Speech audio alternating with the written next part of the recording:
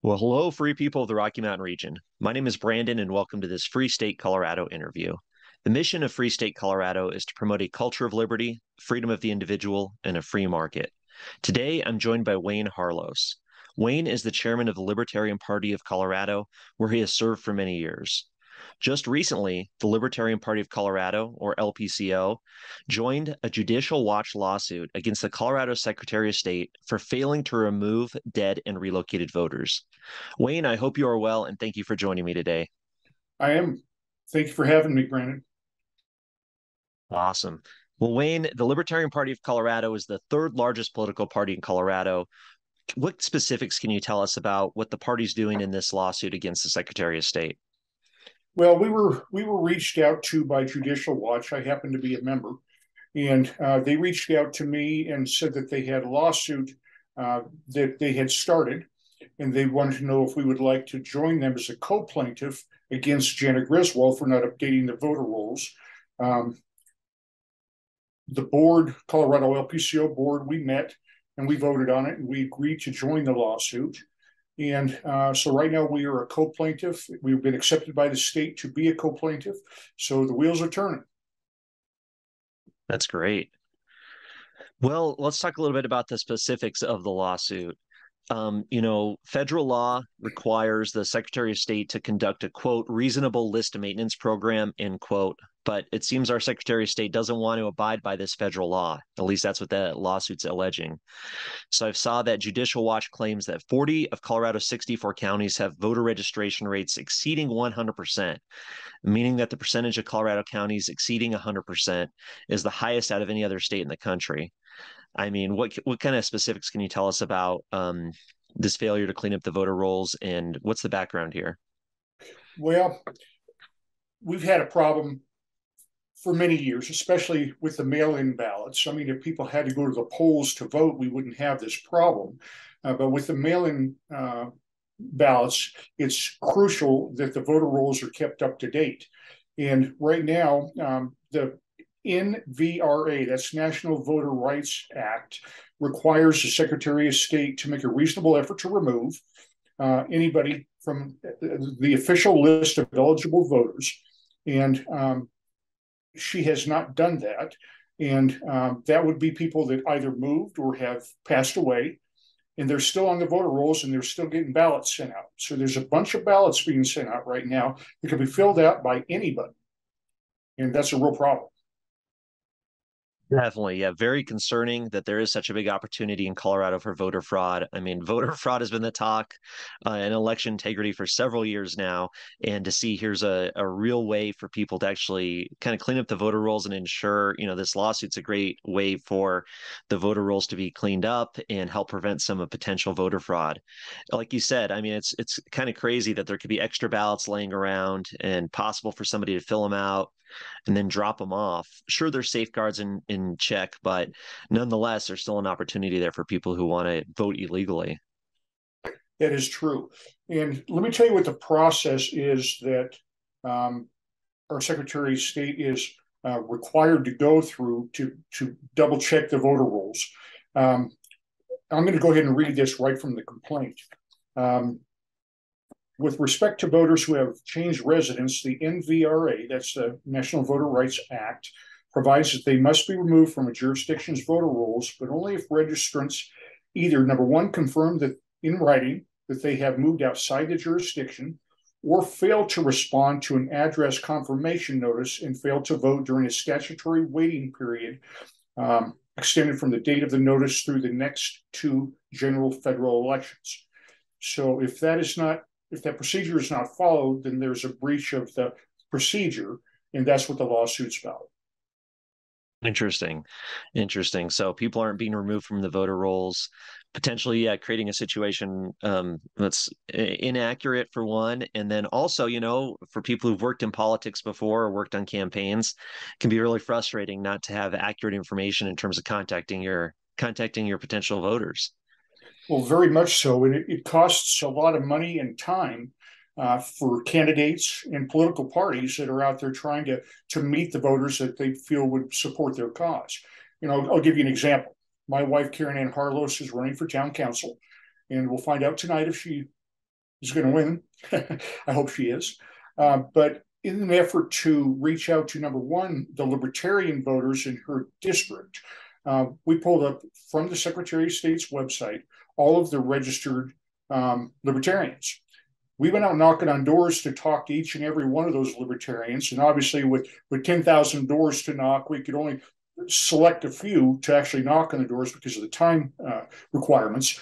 Uh, but I'd say about a third of the addresses that we knocked, um, people answered the door and said, "Well, no, that person you're looking for hasn't lived here in years. We bought this house from them three years ago," and that was very, very common. Uh, or the address was never correct to start with. So obviously, the confirmation uh, letter that should have been sent out to confirm um, the people who lived there was never sent out because it couldn't have been returned. And uh, we spent a lot of money on postcards out to all the libertarians as well as the independents. And we got, I'd, I'd say, of the libertarians, we probably got 30% of them back. Of the independents that we sent out, we probably got 20% back. So the amount of money and the amount of time that we wasted was very expensive uh, to us. And I'm sure every other candidate that put the effort in that we put in uh, was facing the same problems. Well, that's a great point. Yeah, especially, you know, candidates that don't have the resources that these multimillionaire people do you know with federal support these washington mm-hmm. d.c based pacs and and c4s and other organizations coming in and spending money in colorado sure they can they can afford to maybe blanket the state with millions of dollars worth of mailers and ads. But yeah for grassroots candidates for people who are citizens wanting to represent their community to have a voice it's very unfair for them to to have this inaccurate information to have the secretary of state not living up to their job and not providing them with the information they need in order to effectively run for office well, that's the cost in time and money. But we also have the problem of so many counties have more votes cast than they have voters. And that obviously is a recipe for fraud. Um, now, I don't know for sure that that's the case, but it would appear as though it is. Definitely, definitely. You know, um, it's well, it's great to see Wayne that the LPCO is fighting for their party members. You know, obviously, a concern would be your my vote would be diluted, right? My vote wouldn't count as much if there's other non-eligible right. voters that I'm competing against. Now, my one vote versus ten uneligible voters will kind of washed out my say. So, uh, kudos for the LPCO. Kudos for you for leading this charge and really getting involved in in, in fighting out there for us. Well, we've been joined. There are there are several co-plaintiffs. The Constitution Party has also joined the lawsuit. Um, the Democrats obviously they didn't want to have anything to do with it because they don't want to clean up the voter rolls. The Republicans are making their own efforts, so they didn't join the lawsuit. Uh, so, Libertarian Party of Colorado, their largest political party in Colorado, was asked to join, and uh, by unanimous vote, our board voted to join. Nice. That's awesome. That's great. It's great to see the board uh, leading this fight and, and standing up for the voters here. And I, I, just have to think too, you know, as a as a Libertarian Party member, if I moved and my ballot was delivered to somebody else to an old address where somebody got the somebody got it, I mean, as a libertarian, it'd be horrifying that my vote would go to an authoritarian Republican or Democrat. well, not only that, you don't have the chance to vote. You'd have to go down to the uh, to the voter registration office and say, hey, I never got my ballot. And then they'd have to recreate one. And then that creates a headache for the um, uh, for the clerk and recorder in whatever county you have to live in, happen to live in. And so it's a it's a tremendous waste of time. Wow. Well, that's something the government is good at is wasting time and money. well, they have time and money. and it's not their money. Definitely. Well, Wayne, is there anything that uh, us libertarians or um, concerned citizens can do to help uh, help the LPCO in this cause? At this point, I think the wheels are already well underway. I, I, Brandon, I don't think there's anything that anybody can do to help us at this point, uh, other than you know stay in touch with us, and of course, uh, we'll, we'll, probably have a press release out by the end of the week. Um, but this is this is public now. The lawsuit is public, including our involvement. Um, so we'll, we'll put up a press release and hopefully it will bring some people into the party that'll help support us. That's great, Wayne. Yeah, it's it's refreshing to see. Hopefully, it's refreshing for a lot of people who maybe left the Republicans, left the Democrats because the parties didn't represent them or weren't fighting for their interests. And here we have the Libertarian Party kind of filling that gap, you know, fighting for the fighting for the citizens of the state. So cool to see. You bet. Now I'm I'm very proud to be associated with the folks that joined us. All of our board that's... members bellied up to the bar and they're they're fighting it. Well, that's awesome, Wayne. Is there anything else uh, we should know? Uh, this obviously, we probably won't hear anything on this for a couple months. Uh, a couple of the uh, top dogs from uh, Judicial Watch will be here next week, and I'm gonna I'm gonna have dinner with them, and we're gonna talk about the next step. I may be required to be deposed. Um, if that's the case, i am happy to do that. So um, we'll see if that if that's a necessity or if this is such a slam dunk that the judge doesn't require it. Interesting. Well, please keep us updated on the status of the lawsuit and keep us updated on the status of of what we can do as liberty liberty minded individuals to help further the cause of liberty in Colorado. You know, the biggest thing that I think people can do to help bring um, attention to this, and obviously also to grow the Libertarian parties, get involved in your local county affiliate if you have one. Uh, if you don't happen to have a county affiliate, start one and we we have the mechanisms to help you make that happen. Um, but it's always fun when you get together with with a bunch of like-minded people and get involved in a cause together, and that's what the the value of joining the local affiliates is.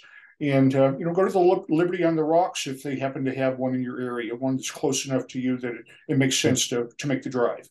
Um, but there's a lot of Liberty events that are going on uh, that people don't go to and there's nothing more fun than getting together um, over a beer or a cup of coffee with somebody that uh, is like minded.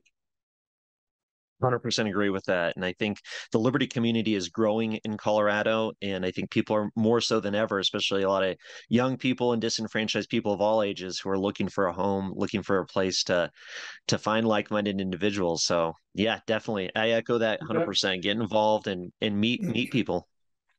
There's another thing. If uh, if somebody is a registered Republican or Democrat or even unaffiliated, um, I would encourage you to consider changing your voter registration to Libertarian. I'll tell you why. Um, a lot of people that get disenfranchised by the duopoly, the Republicans or Democrats, um, they join the uh, unaffiliated ranks. And all that tells the duopoly is that you're not happy with them, but you're not saying why. And if you vote as a or change your voter registration to a libertarian, you're saying, I'm unhappy because the government's too big. And you're sending a very, very clear signal to um, to the duopoly when you change your voter registration to libertarian. Um, if you're unaffiliated, you know, they just know that you're not happy, but they don't know why.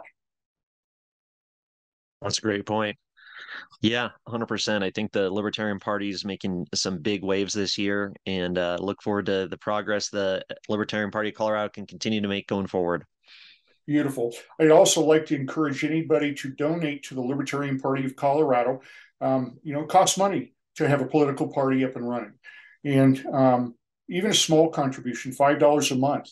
Um, if we get 100 people to do that, that'll make a big difference in our bottom line at the end of the year will give us money to pay for outreach events. You know, rent when we have a booth at a say county fair, um, or uh, Douglas County is going to have uh, a booth at the Starlighting event, which is a yearly event that we do every year, and it costs money. You have to rent the booth space, you have to pay for the insurance. Um, it just you know obviously we have the volunteers that man the booths, but it still takes some money out of pocket to make those things happen. That in supporting candidates is another thing that we we have done this year for the very first time. We've never given LPCO history has never given any money to candidates, and we did this year, sixty five hundred dollars. So we made a pretty big dent in, in helping the candidates that were running full on runs to help them fight the fight. Well, that's great. That's great news. Yeah, I mean, it seems like uh, everything that's been going on this year, from the candidates we're running to to this lawsuit now, the Libertarian Party is becoming a major force in Colorado politics, bigger than it has been, and uh, that's pretty exciting for people who believe in liberty, freedom, small government, and uh, and the future, really. Very much so. I, I agree, and like I said, I'm very proud to be uh, amongst the people that are fighting this fight. Awesome, Wayne. Well, perfect. Well, thank you very much, sir. Thank you for all your hard work. Thank you for your leadership on this lawsuit and other issues. And uh, hope to talk to you again soon in the future. Thank you, Brandon. It's great to be with you. Take care.